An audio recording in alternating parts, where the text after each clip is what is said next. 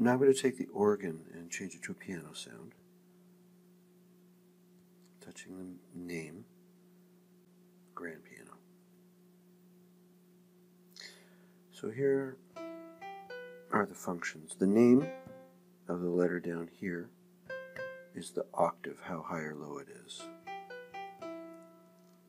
Glissando and scroll.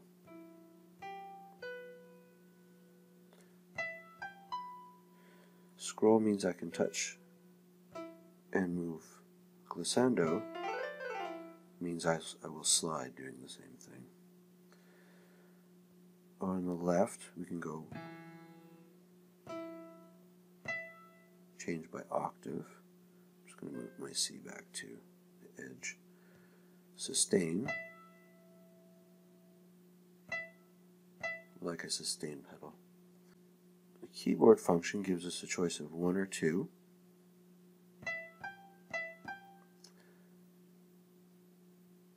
And this way we can play two-handed.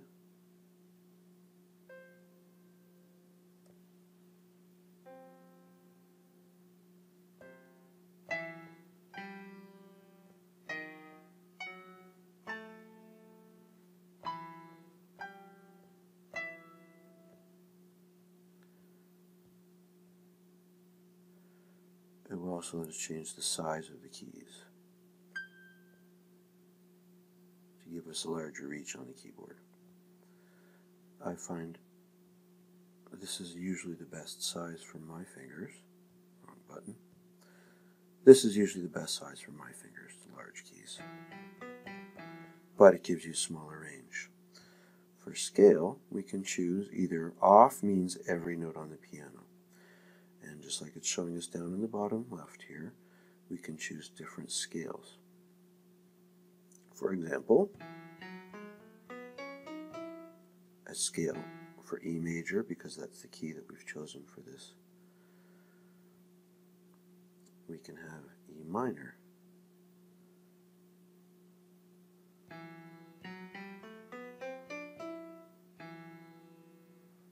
And if we put in glissando,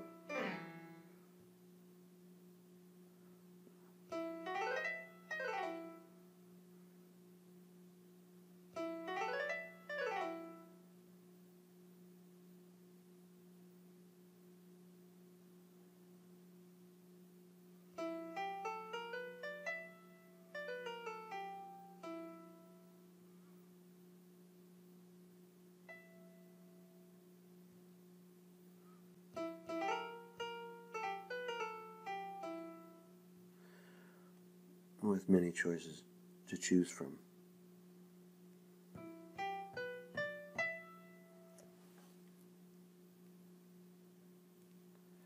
And this is the autoplay.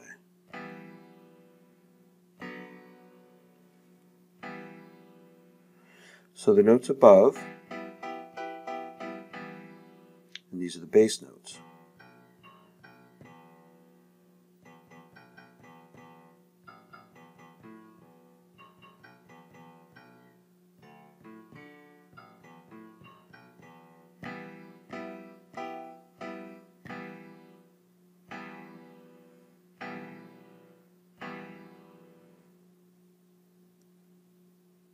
We'll cover the rest of Smart Piano in the next video.